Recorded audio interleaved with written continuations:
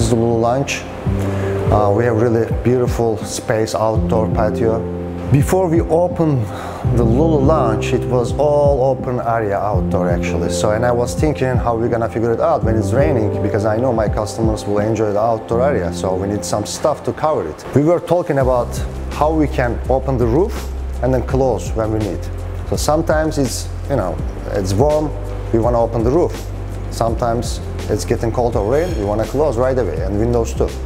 We look for um, the company that brings, you know, pergola roof to the US and we find the company is really good. So basically we have our four sections for the pergola outside.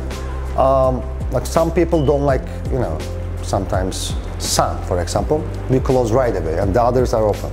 So the other uh, section, for example, is really hot, we need to open the roof, we open it. The other one is closed. So we can actually do whatever we want. We can close, you know, two of them, two of them could be open. We play with everything, this is the good thing. Lights down and up, whatever we want, we do that.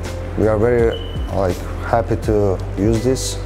Our customers love it too. So when I open the pergola, they all uh, taking their phone to, and you know making some videos about pergola. Yeah, we are so happy.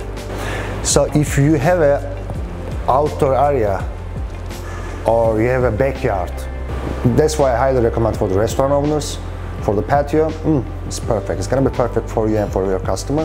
For the other people that, uh, you know, if you have a backyard, you know, you don't need to get an umbrella or something. It's really like quality stuff that you can use maybe, I don't know, like many, many years. So that's why I highly recommend for anyone that you want.